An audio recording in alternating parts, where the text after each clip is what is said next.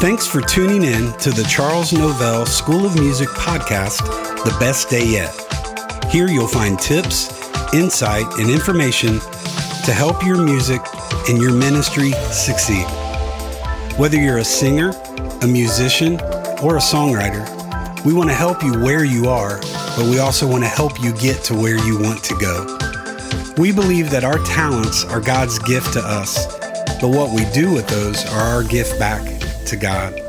Yesterday's information is important, but what we can learn today will make this the best day yet. Hi, this is Jonathan Wilburn inviting you to the Charles Novell School of Music, July the 14th through the 20th at Murray State University in Murray, Kentucky. You don't want to miss this opportunity to enhance your craft and to sing the praises of Jesus Christ. You will enjoy this, so log on to cnsmusic.com and get more information about how you can get registered today. Welcome back to another episode of the Charles Novell School of Music podcast, The Best Day Yet. I am Rob Novell, your host for this here podcast. Excited to come to you today. So, we have a unique episode today. Um, back in 2020, 2020 was a pivotal year in the Charles Novell School of Music. Man, God did a lot personally in me and a lot through our school in 2020. We we COVID year. I don't like to even recognize that name, but that's that's the year we all know. Same storm, different boats. That's how I kind of look back. But it was a year that brought about um, growth because I had to learn that change is inevitable, but growth is optional. So we had to find new ways to do the same old thing, and we ended up having to go online with our school for 2020. We built an online school, which is still currently active. We have over 125 video courses now on our online school. And what we're going to do today is we are actually going to go into an episode, a class that is uh, was produced for CNS 20 and it's still active and currently on our online school of music and it's with our staff member shannon newman and he is talking on uh, branding and kind of giving you a branding overview, explaining what branding is, explaining how uh, the corporate world uses branding to push their products, and it's a unique twist on how we can brand our ministries and uh, allow people to know through our packaging what our product is and, and the narrative behind what we do. It allows uh, people to know who we are. We have been very intentional with the branding of CNS over the last four years. And branding is going to allow you to stand out, kind of be unique, be different from the rest of the crowd. And Shannon is going to bring that information to you. Again, you'll hear a couple things I want to clarify. This again is from 2020. Our theme of our school that year was Be the Influence. And branding can help you through your packaging, get your product out there and your narrative out there so that you could be the influence in someone's life. So let's go into that class with Shannon Newman. And you all, if you apply this stuff, I promise this will make it your best day yet. Hey, I'm Shannon Newman, and welcome to this class on branding. And let me tell you a little bit how we got into this. Um, there's a book that came out earlier this year, and it's a book by a lady named Laura Bull. That's B U L L, Laura Bull. The book is entitled From Individual to Empire, colon, a guide to building an authentic, powerful brand. And I heard this lady on a podcast, and I was really impressed. And I bought the book. I just felt like it was something I ought to do. Actually, and anyway, it's a long story, but I bought the book, started reading it, had to drive to Atlanta the next day, and I called Rob in the process. And anyway, I was so excited about this book. And then she starts out talking about being an influence and what it is to be an influencer and building a brand. And part of that, some things that I dealt with in that class I taught called Know Your Strengths. So you might want to go check that out if you haven't. But anyway, um, it's a great book and it's on building a brand. And what she talks about is the fact that most people want to throw products out there. And from a musical standpoint, she was the youngest executive for a major record label company or record a major record label in Nashville. She worked for Sony Records in Nashville. She became an executive vice president of Sony Nashville at the age of 27. And she is a branding expert. She worked with a lot of artists, many of who you, who you would know, to help build their brand and shape their careers. And the book's very interesting and it talks about all of that. So, with us being a music school, that's kind of something that I thought would appeal to people. The other thing is, is we also have the pastors conference, and maybe you're a church leader, you're on staff at your church. One thing you want to think about is building your brand. Um, let me explain it this way. You may not realize the importance of building a brand, but let's put it this way. I'll bet you that the last time you watched the news on television, your local news, I'll bet you that there was an, uh, an attorney that had an ad on there. Now, those attorneys probably run the same ad. Some of these attorneys spend over $100,000 a month, or some of these law firms, to create their brand. Now, they create their brand, and you're not sitting there watching the news one night at 6 o'clock thinking, you know what, I'd like to hire him. I think I'll have a car wreck or a personal injury or an injury at work tomorrow. They build the brand so you're aware of what they do. So when you need an attorney or you need someone to represent you or a friend does, that you'll recommend that person. So that's how they build their brand. Some of their commercials are great, some of them aren't great, some of them are cute, but the, the way that they work is by building a brand that you rely on. So that's why we're kind of dealing with what we're dealing with. And if you're a church, you need to build a brand or a name that people recognize. If it's nothing more than people like, oh yeah, I know people. Every time I hear somebody talk about that church, they're excited about this or that. There's things you can do that builds a brand that influences your community in a lot of different ways, that creates the brand of who you are.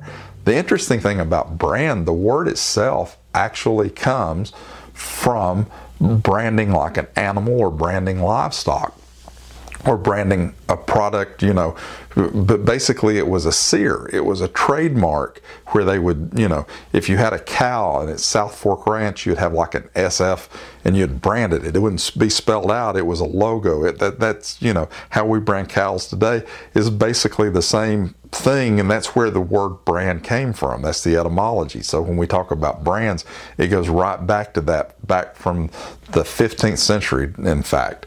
It's a symbol, it's a logo.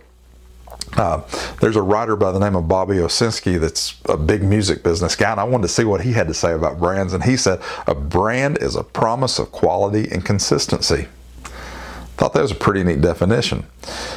Uh, in becoming an influencer, you promote a brand, whether it's promoting yourself, promoting your church, promoting your organization, your group. You're an influencer and you promote that brand. And we talk about brand being the influence. Now, in this book, it talks about something that all brands are built on, and she calls it the three pillars of a brand. And I think this is great if you want to understand a brand and why they are effective and why they work. There's three things. It's pretty simple. You have the packaging, you have the product, and you have the narrative.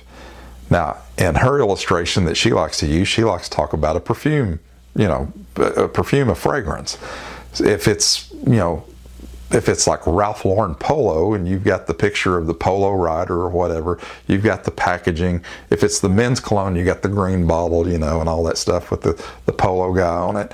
Then you got the fragrance of what it smells like, the chemical substance of what it is, and then you have the story behind it. You know, you see these the models and the people that, you know, promote, you know, it, it makes it look like if, if you just smell like that, you're going to have the beautiful life and this, you know, ostentatiousness about you. It's going to be perfect. So you buy our cologne and you'll at least smell like you're successful or whatever. That's how they promote that.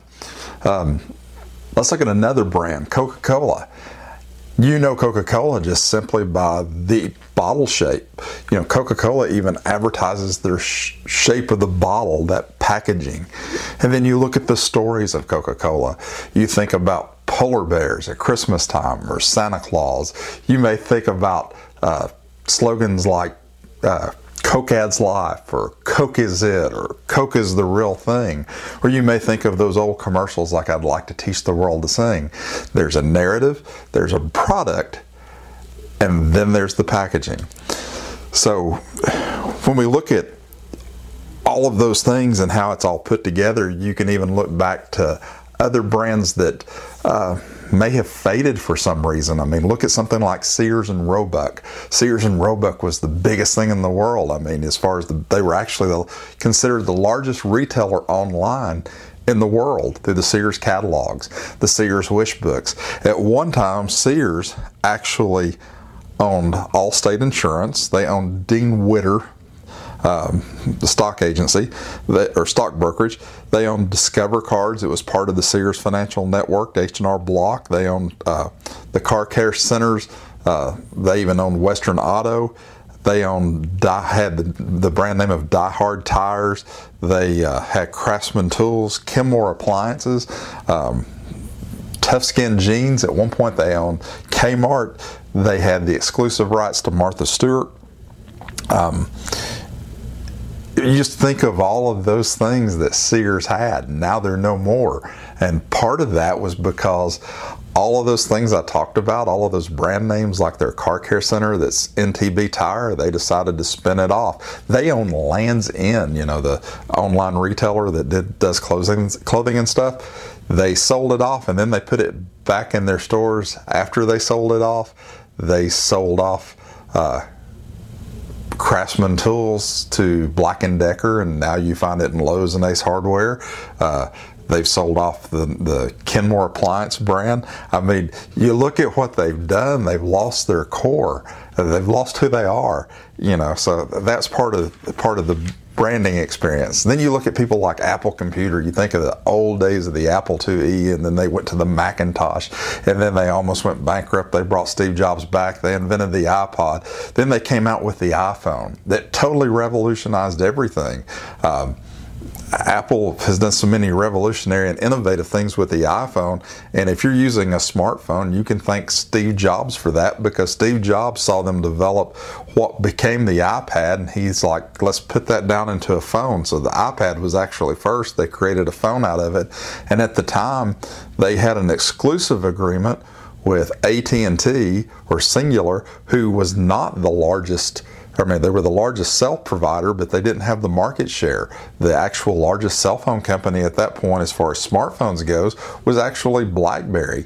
And the way Apple does things, people said it would never work. But not only does it work, all the other phones are basically using the same, same type of cloud computing system. So you have one brand to thank for that. Uh, think of another brand that went out of the way that, or that's gone now, like Kodak. Uh, Kodak at one time, if you had a picture, it was either taken on Kodak film, printed on Kodak paper, or both. Now, the number one camera in the world is the iPhone. So, Apple did that. So, you look at brands and you look at how they, you know, there may be like multiple brands within a brand entity. And you may look at the brand recognition and who they are and what they do and what, you know, what identifies them by, you know, what do they do that identifies them? How are they known? Um, then you look at influencers and people who've built a brand like a Taylor Swift, for instance, who basically has built a career. She reached out to her fans, was very plugged in with her fans, and she's still plugged into her fans she actually has evolved. Um, some would argue even you know socially with her fans. Um, I mean, she's not the small little teenage girl singing the country songs. Now she's doing all this other stuff and doing all kinds of other advocacy things. Um, look at people like Kanye West. Now, here's the most amazing thing. Do you all remember the time that Kanye West, uh, Taylor Swift got an award for a music video, and Kanye Swift was uh, a little inebriated, and he went forward and said Beyonce had the best, you know, you know the best video ever and Taylor Swift went off crying and Kanye looked like an idiot and the president of the United States called him a jack whatever you know and you would think well that would hurt Kanye West. But actually, that week, Taylor Swift and Kanye West sold three times more product than they had sold in the previous months because it actually helped both of them because what they did was true to who they were. The fact that Taylor Swift looked like she was the persecuted one and went off crying, and the way that Kanye West was, his fans liked what he did. It was true to their core. Then you take that in the world of politics, and I'm not getting political, but you take a person with an authentic brand, maybe like a Donald Trump. He says something that's Trumpish that some people might not like, but the people that support him think, well, that's Donald Trump. Or you take a politician who has built an inauthentic brand, you know, a brand that won't last because they're not who they say they are, then there's a moral failure and then they resign in shame. Or you take somebody that's known for moral failures, regardless of party, they screw up but they're known for moral failures and they survive it. And I don't want to get into parties or anything, but the authenticity of the brand helps survive in a downturn or when things go wrong because it's authentic. We'll get into a little bit of that later. Um, you know, even just recently, this has kind of been my thing. Did you realize that Burger King sold tacos? I don't know why. It was for a limited time only, but they sold tacos for 99 cents at Burger King. I don't know what that has to do with burgers, but they sold tacos. Anyway, uh, your talents, your strengths, and your perspective are all the things that make you. So, how do we throw those and kind of put that in a branding context? Um, I think there's several things you should look at, and I think you should study things. Like you should look at a book like Laura Bull's book, from individual to empire, you need to kind of study your market or your industry. The reason I say that is because a lot of times as an artist or a singer, what we'll do is we'll think, well, I'm just going to record this CD and I'm going to put it out there and I'm going to try to sell it. But if you had the packaging that related and it reflected who you were and it reflected what you're doing, um, if you're a church, what are you doing? You know, what are you know what differentiates you? What's your story? Um, let's look at somebody that's one of ours. Let's look at Jeff Stice. I mean, Jeff has a story. Jeff's honest. He's authentic. Jeff's a talent. He has all these abilities, but there's a narrative as well as the talent. Now, the packaging obviously probably could use some more work, but that's another story. But he's got Stacy that helps him overcome that. Anyway, getting back to it, your brand is you. It's your talents, it's your strengths, it's your perspective. You know, one of the questions I asked myself was, does God really need another singer? It's kind of like when the one of the last churches I was at was a new church start, and it was funny because the pastor that came was somebody I had worked with, and when they called him his question was to them, does this area need another church? Because there was already within like the association of two counties, there was already like 120 Baptist churches. What's going to make us any different? Why do we need another church? You know, what is it that we do? So when you start looking at all of that, you need to survey.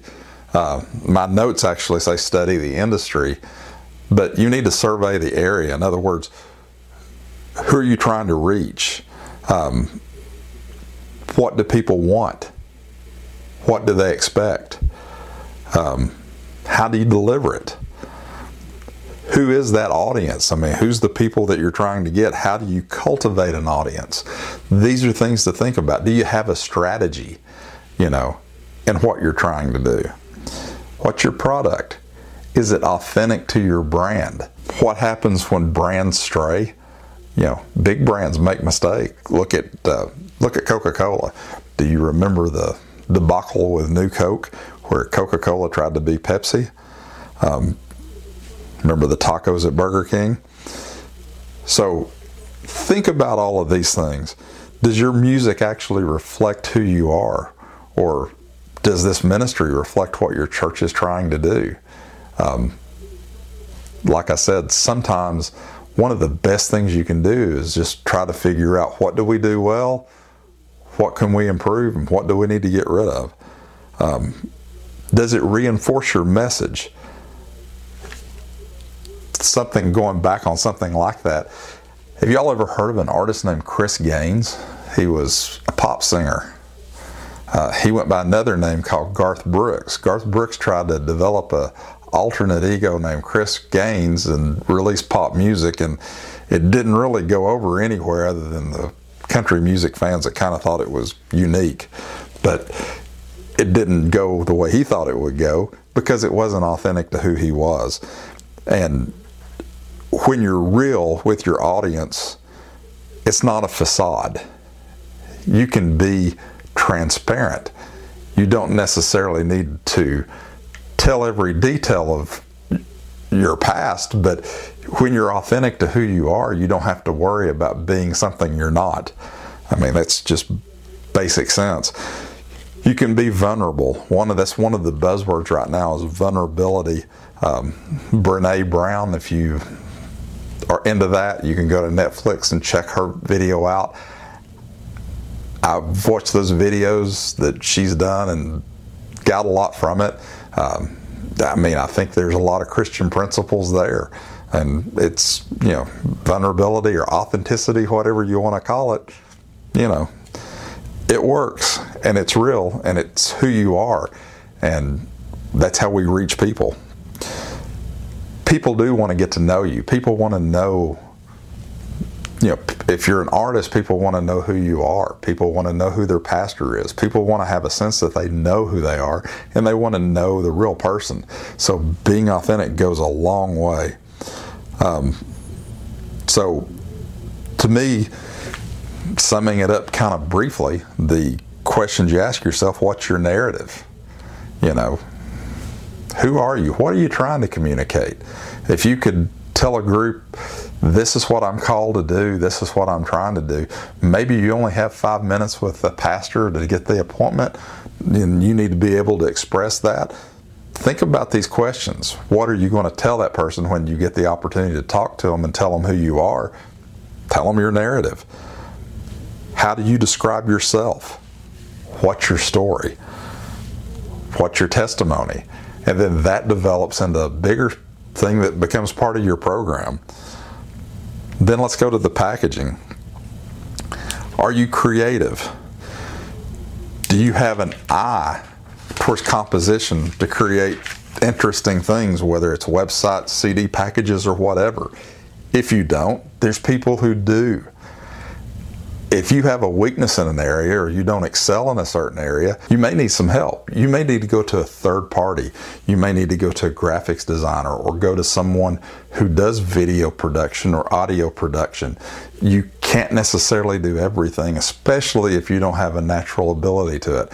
So you need to find honest people to evaluate what you're doing and ask them, what would you do to, you know, what would you do if you were me?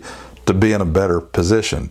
You make sure uh, that your music and your merchandise all reflects you, your brand, and the message that you're trying to relate to your audience. And when we talk about audience, sometimes that word may sound commercial, but in the context that we use it here, basically, it's reaching the people that God put you in front of to reach. And that's your audience. So I don't want to make it, I don't want to sound so secular in that, but I want you to be conscious of that. For further resources, there's a lot of things out there. There's a lot of podcasts out there. Uh, it, contact me and I mean, because I think there's so many different ones that, that, do different things. But keep stuff like this in front of you constantly. Also, um, the book From Individual to Empire by Laura Bull is a very good book because it helps you identify who you are. It helps put you on a path to where you need to be and get you to think things in broader context. And you may end up looking at that thinking, man, I need to get somebody to help me out. Or you may just find everything you need in that book and be able to go forward. But it's definitely something I would recommend.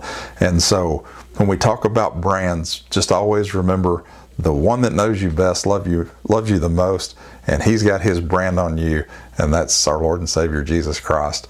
Because that's what all of this is about. We're His. And any brand that we have should reflect that we're part of His brand. Anyway, thanks for taking the class or watching. And if you've got any questions, just contact me at shannon at woollane.com and I'll be more than happy to answer any questions you may have or maybe try to help you in some way find some resource that you need. Thanks a lot. Thanks for listening to the Charles Novell School of Music podcast, The Best Day Yet. You can follow us on Facebook, Instagram, and Twitter under the name the Charles Novell School of Music. And for more information on CNS and our upcoming events, like our online school, our weekend regional sessions, our creative coaching, and our pastor's retreat, you can visit us at our website at www.cnsmusic.com. As you've listened to this episode, we hope that you've gained some information that you can apply to your music and to your ministry to make today the best day yet.